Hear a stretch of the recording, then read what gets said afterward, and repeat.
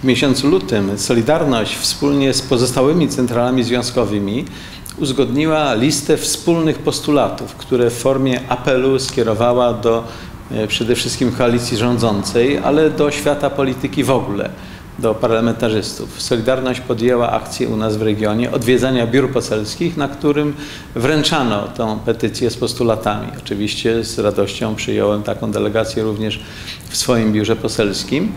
I muszę odpowiedzieć, że byłem w o tyle e, łatwej sytuacji, że znakomitą odpowiedzią na tą listę postulatów jest e, przede wszystkim w tej chwili program kandydata na prezydenta Andrzeja Dudy, program zatytułowany Praca, Rodzina, Bezpieczeństwo, Dialog, w którym znajduje się na wprost literalnie szereg spraw, które e, no, funkcjonując w parlamencie uczyniłem jednymi z głównych postulatów, również czy punktów programowych Prawa i Sprawiedliwości.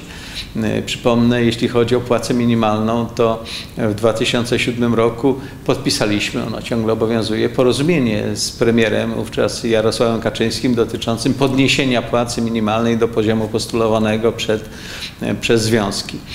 Również kwestia obniżenia wieku emerytalnego, podstawowy postulat Solidarności.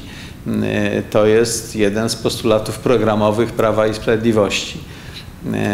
Podobnie kwestie likwidacji antypracowniczych rozwiązań ustawowych, wydłużenia okresów rozliczeniowych.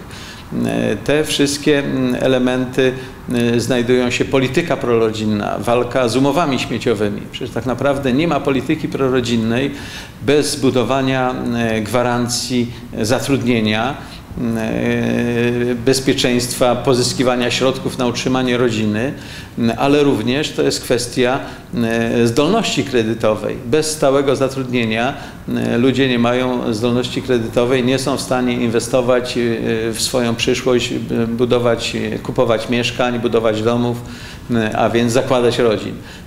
Tutaj post, te, te postulaty związku spotykają się dokładnie z tezami programowymi kandydata Andrzeja Dudy na prezydenta.